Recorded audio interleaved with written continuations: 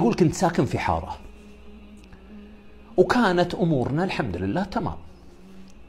في يوم من الأيام كنت واقف بسيارتي وقاعد في السيارة. من بعيد شفت جارنا جارنا هذا رجل كبير في السن يمكن تقريبا عمره 90 سنة. جاي عند الزبالة تكرمون اللي هي حاوية الزبالة. وأخذ كيس من حاوية الزبالة أو أخذ شيء معين ثم دخل بيتهم يقول أنا استغربت قلت جارنا هذا يصلي معي في المسجد ورجل هندامة كويس ولبسه كويس وعنده ما شاء الله سيارات وبيته ممتاز شلون ياخذ من الزبالة؟ لا يكون الرجال فقير وحالته معدمة وتعبانة وإحنا ما إحنا دارين عنه. يقول المهم بعد فترة نصلي مع بعض وجيت سلمت عليه. قال لي يا هلا يا مرحبا. يقول كيف حالك وشلونك يا أبو فلان؟ عساك طيب؟ قال الحمد لله الله يسلمك. ورا ما تقلط تقهوى معي. تقلط يعني تفضل معي البيت تتقهوى. يقول قلت فرصة. أه يلا ما عندي مانع. يقول دخلت بيته. جيت للمجلس. وإذا البيت ممتاز. فخم يعني. وبعدين الرجال راح جاب القهوة وجاب الشاي ويقول ما يقول الوضع تمام ما في شيء. يقول وأنا دردش معاه قلت له يا أبو فلان أنا بكون معك صريح. يقول قال تفضل. قال يا أخي قبل فترة قبل حوالي عشر أيام كنت أنا في السيارة أنت ما انتبهت لي. شفتك أنا جيت عند الزبالة والتقطت منها شيء ودخلتها بيتك. فصراحة صراحة يعني أنا استغربت. قلت يمكن جارنا هذا وضعه تعبان فقير محتاج وإحنا ما انتبهنا له. يقول فقال لي لا لا لا يا أبو فلان لا لا لا أبشرك الحمد لله أموري طيبة وأنا بخير. نعم نعم كثيرة من الله. لكن أنا دائما إذا شفت نعمة ولا شفت شيء يؤكل مرمي يقول ما أقبل. وهذا عهد بيني وبين الله سبحانه وتعالى. آخذه ممكن أنا آكله ممكن أتصدق به. ما أخلي نعمة في خصوصا إذا كانت شيء جاهز للأكل تمر أو فاكهة أو شيء كذا في يقول قلت له ما شاء الله والله الله يجزاك خير يعني. قال ترى هذه لها قصة يا ولدي. قال تعطيني القصة؟ قال أعطيك القصة. لكن القصة ممكن أنت يعني ما يستوعبها عقلك لأنك ما عشتها. لكن أتمنى منك تركز معي علشان تستوعبها. يقول قلت تفضل. طبعا أنا أحب أذكركم يا جماعة الخير إن القصة قبل 40 سنة والرجل عمره 90 سنة. يعني القصة الآن في في الحقيقة اللي بقصها الرجل هذا حصلت في زمن غير زمننا.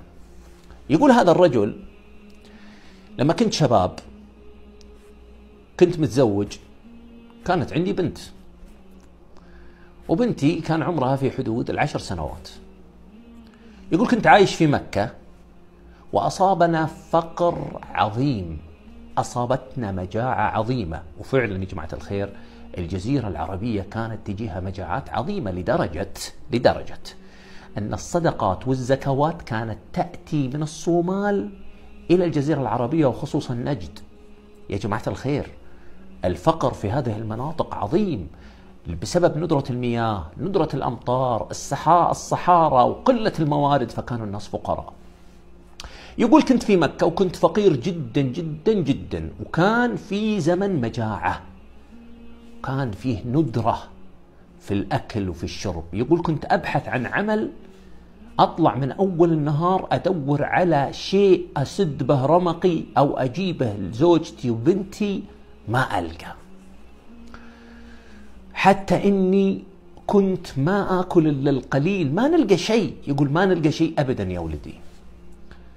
وفي يوم من الأيام طلعت وأصابني الإنهاك والإعياء وأنا ما لقيت عمل. ومن شدة ما أنا تعبان ومستضيق ضاقت بي الدنيا رجعت للبيت وأنا أفكر تفكير غريب. فكرت إني أبيع بنتي.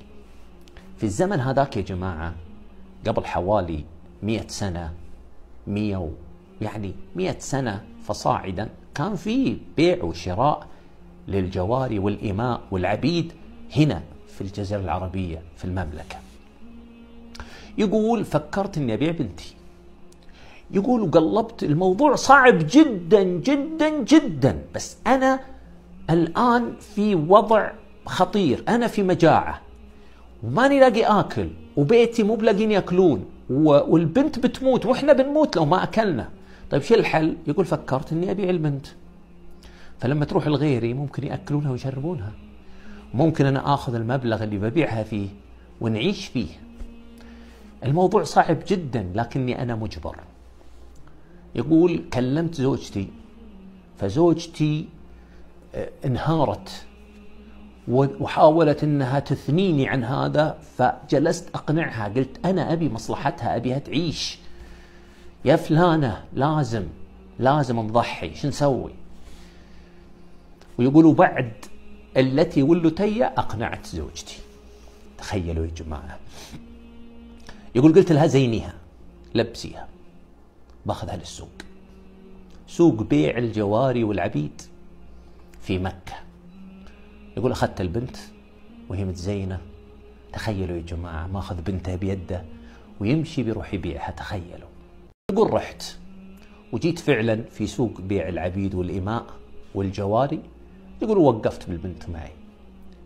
يقول مر بدوي بين قوسين أعرابي. جاي من ضواحي مكة جاي من من بادية مكة. يقول نظر للبنت كأنها عجبته فجاء يساومني عليها. واتفقت أنا وياه على 12 ريال عربي فضة.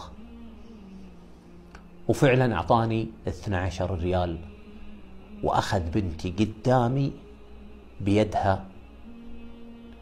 وكأني أتذكر نظرات بنتي لي وهي تطالعني وعيونها غرقانة بالدموع. لكن ما ما أقدر إلا كذا. راح هذا الرجل البدوي ومعه البنت يقول أخذت 12 ريال فضة واتجهت على طول على السوق سوق التمر أبغى أشتري تمر. وقت مجاعة يا جماعة وكل شيء غالي ولا فيه صدقات ولا فيه زكوات ولا في شيء. يقول رحت واشتريت تمر بريالين فضة وأخذت لي آه، شخص يسمونه الحمالي. يقول قلت له شيلها لي لأني ما عنده قوة. يقول ما عندي قوة ما عندي ما عندي قوة أشيل فيها شيء. يقول واعطيته فعلا التمر وقلت له الحقني. وفعلا رحت وكان يمشي وراي الحمالي. لما وصلت عند سكني بيته خرابة يعني بيته يعني عشة.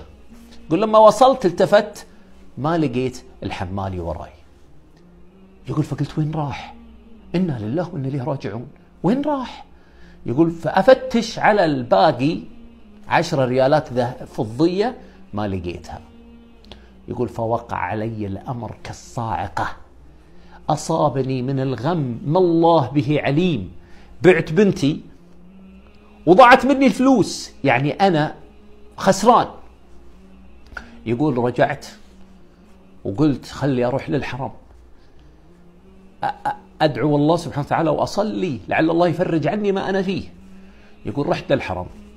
وأثناء ما أنا في الحرم شفت الرجل البدوي يطوف ومعه بنتي. قعدت اناظره من بعيد وبدت الأفكار تدور في راسي. هذا الرجال مع بنتي الآن وأنا خسرت كل شيء بخسر بنتي بعد. يقول فقررت إني أترصد له حتى إذا طلع من مكة ومشى أروح له في أحد الشعاب شعاب مكة وأقتله وأخذ بنتي. يقول وأثناء ما هو يطوف لمحني. فناداني. لما وصلت عنده كان يصلي خلف مقام إبراهيم. صلى وخلص ثم أجلسني. قال لي أبغى أسألك البنت اللي معي هذه من هي؟ يقول قلت هذه جارية عندي وعرضتها للبيع وانشريتها. قال لا ما هي بجارية. أنا سألتها تقول إنها بنتك. صحيح هذه بنتك؟ يقول قلت إيه نعم صحيح. قال إنا لله وإنا إليه راجعون.